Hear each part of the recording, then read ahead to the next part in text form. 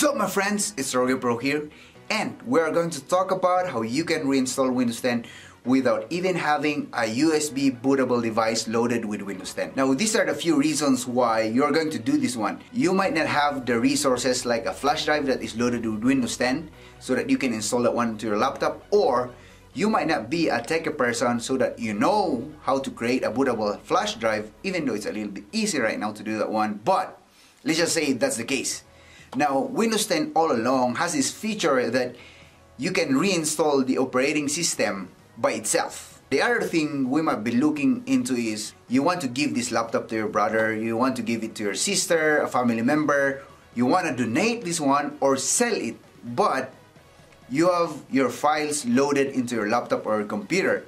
So, what we're going to do, we're going to look at that one right now. With these few simple steps that I'm going to show you, you can do it. Everyone can do it. Yes, literally everyone can do it. So let's go ahead and look at that one right now.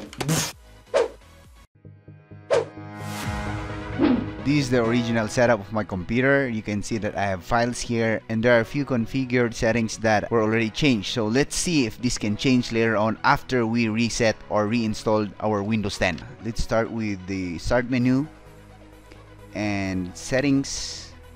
Go to update in security, recovery, and then let's get started.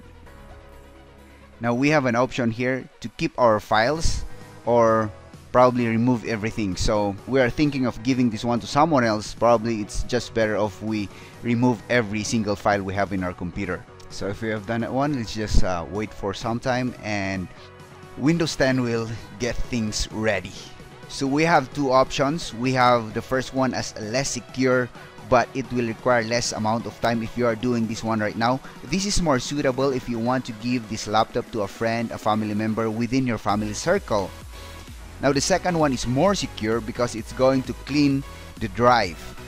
Now if others are going to try to recover the file that is uh, deleted from this computer, then it will be much much harder. So it is more suitable if you want to donate this laptop or you want to sell this laptop. For the sake of this demo, we're going to select the first one so that it will be done much faster. For the second one, it would be the same but it will require more time we're going to fast forward most of the clips here especially on these times that it's waiting to to do the processing so that we can save more time so if you're trying to do this one at the same time Uh, you can just post the video so you can catch up with what I'm doing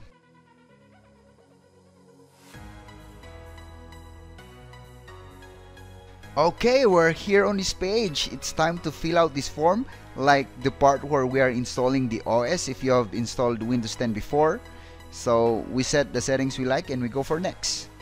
We accept the agreement if you want to use that one and the settings it's up to you if you want to use the express settings or not. Let's fill this one out again. Who's going to use this PC and uh, if you want to put a password it's up to you and then just go for next. Alright, it says this won't take long but actually I fast forward this one so that we can move on to the next one. Let's start. Okay, here we go. It's totally like brand new OS. So everything was deleted, everything is new, files are gone, settings are totally on default, so it's up to you to change those ones. So there you have it guys, I hope you have learned something from this video.